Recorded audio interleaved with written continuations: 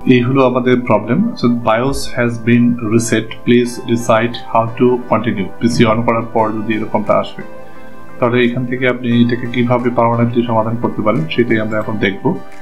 তো, এই অবস্থা থেকে আপনি দেখবেন এখানে load optic optimize default then board load optimize default then reboot then এখানে দেখেন এন্টার বায়োস একটা অপশন আছে। নিচের দিকে তিন নম্বর অপশনটা এন্টার বায়োস আমি আপনার প্রথমে যেটা করবেন, আপনি অবশ্যই যদি এরকমটা না আসে এন্টার বায়োস না আসে, এখান থেকে অবশ্যই আপনি কিবোর্ড থেকে ডেল প্রেস করে আপনি বায়োসে প্রথমে ঢুকবেন। আমি এখান থেকে ঢুকছি এন্টার বায়োস থেকে ঢোকার পরে এরকমটা অপশন পাবেন। এখান থেকে আপনি যেটা করবেন, আপনার এখানে চেক উপরের দিকে দেখেন পেরিফেরালস একটা অপশন আছে। এটার উপর ক্লিক করবেন।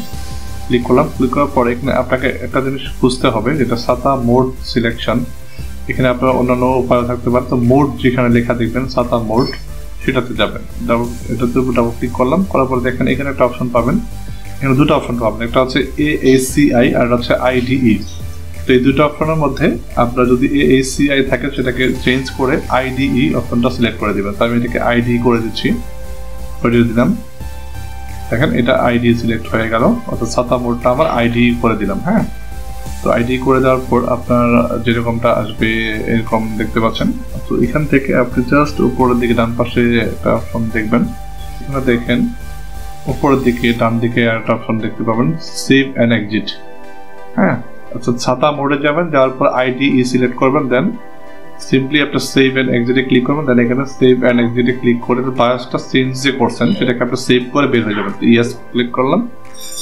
দেখেন, আমার অপারেটিং সিস্টেমটা এখন আর কোনো ধরনের এরর দেখাবে না। রিসেট বায়োস আর দেখাবে না। ডিরেক্টলি আমার অপারেটিং সিস্টেমটা অন হয়ে যাচ্ছে। উইন্ডোজ টেন আমি ব্যবহার করছি। দেখেন, এই হলো আমার উইন্ডোজ টেন এই যে সুন্দর ওপেন হয়ে গেল। কোনো ধরনের বায়োস রিসেট যে অপশনটা কোনো কিছু দেখাচ্ছে না। আমি পাসওয়ার্ড দিই। পাসওয়ার্ডটা দিচ্ছি পাসওয়ার্ড দিলাম। ওকে তো আমার উইন্ডোজটা কিন্তু সুন্দরভাবে ওপেন হয়ে গেল।